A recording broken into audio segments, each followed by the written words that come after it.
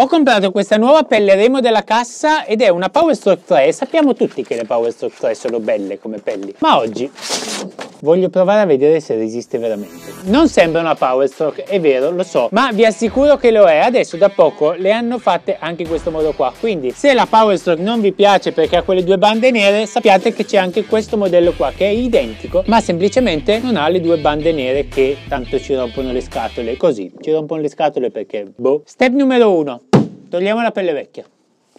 Fatto. Step 2, mettiamo la pelle nuova.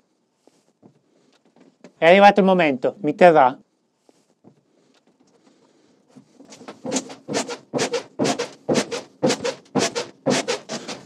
Raga, mi ha tenuto. Allora, perché ho fatto questa cavolata, ragazzi? Non l'ho fatta a caso, l'ho fatta per spiegarvi una cosa. Questa cosa di saltare sulla cassa l'avevo già fatta, sapevo che non sarebbe successo niente o comunque speravo che non succedesse niente, perché in realtà tutte le volte che lo faccio comunque vado un po' in ansia. Perché dico, chissà se mi tiene, chissà se non mi tiene. Allora, sta roba qua l'avevo vista fare a Simon Phillips. Lui diceva, per togliere tutta la colla in più, tutte le parti in più che rimangono nella pelle, saltateci sopra così siete a posto, appena montate una pelle nuova. E in effetti questa roba io da quando l'ho vista fare a lui l'ho sempre fatta. E mi sono sempre trovato bene. Poi più che altro mi diverte fare questa cosa e quindi lo faccio. Quindi ovviamente quando avete una pelle nuova, se volete potete farlo, io non mi prendo nessuna responsabilità. A parte tutto, io ho sempre provato ad esempio con delle Remo Power 3 o comunque con pelli doppio strato, non è mai successo nulla. Non so se prendete una pelle monostrato sinceramente, quindi prima informatevi. Nonostante questo video molto stupido, io vi invito a iscrivervi al canale, andare sui miei social Instagram e Facebook e noi ci vediamo al prossimo video. Ciao!